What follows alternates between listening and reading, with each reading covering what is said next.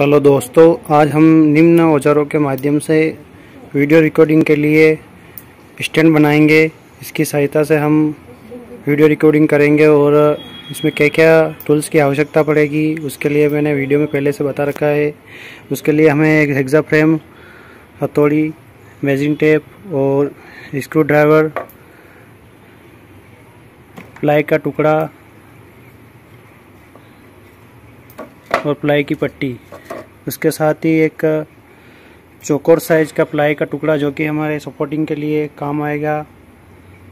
निम्न औजारों और टूल्स के माध्यम से हम स्टैंड बनाएँगे। मोबाइल वीडियो रिकॉर्डिंग स्टैंड के लिए सबसे पहले हम प्लाई की पट्टी को मेज़रमेंट करके हेक्सा फ्रेम की सहायता से कटिंग करेंगे। कटिंग के लिए हम सबसे पहले मेज़रमेंट करेंगे और कैमरे को सेटअप करके मेज़रमेंट करेंगे कि हमारा कैमरा किस मेज़रमेंट पे सही व्यू पिक्सल के साथ सेट हो रहा है और जो हमारा जो भी मैटर है वो अच्छी तरह से दिखाई दे रहा है। तो उसके लिए हम मोबाइल को कैमरे को इन प्रॉपरली तरीके से रख के एक बार मेजरिंग के लिए हम सेटअप करेंगे। सेटअप के लिए पहले मेजरिंग टेप के माध्यम से हम मेज़र करेंगे कि कितने पर हमारा जो कैमरा है, सही व्यू में आ रहा है तो उसके लिए हम पहले मेज़र कर लेते हैं।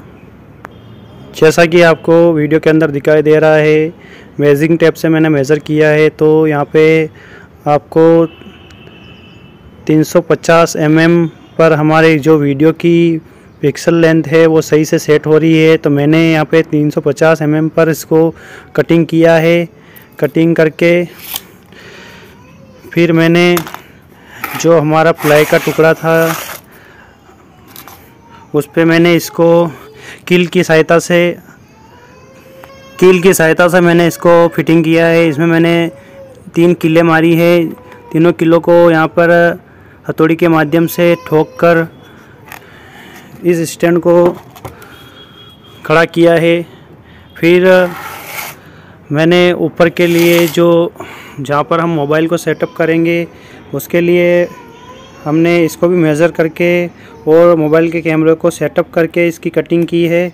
कटिंग करके फिर हमने यहाँ पर दो कील के माध्यम से इसको फिक्स कर लिया है। और जब फिक्स हो जाए फिक्स हो गया है तो हम एक बार इस पर कैमरा रख के देखते हैं कि हमारा जो कैमरा है, वो सही तरह से सेटअप हो रहा है कि नहीं हो रहा है। तो मैं एक बार मोबाइल का कैमरा ऑन करके रखता हूँ।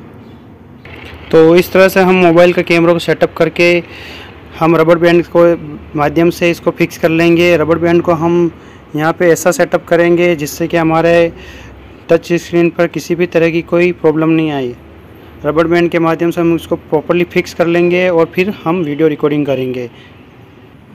तो दोस्तों, इस तरह से हम मोबाइल स्टैंड बना सकते हैं। अगर आप पर अगर हम इसको और फिनिशिंग देना चाहते हैं तो हम इसके ऊपर कलर कर सकते हैं या इसके ऊपर इंसुलेशन के लिए पेपर चिपका के हम इसको अच्छा सा सेप दे सकते हैं। नीचे भी हम अच्छा सा पेपर लगा के इसको अच्छी सेप दे सकते हैं। तो इस तरह से हम घर पर ही मोबाइल का वीडियो रिकॉर्डिंग स्टैंड बना सकते हैं। उम्मीद है ये वीडियो आपको बहुत पसंद आएगा। वीडियो पसंद आया हो तो ज़्यादा से ज़्यादा लाइक करें, अपने दोस्तों के साथ शेयर करें। धन्यवाद।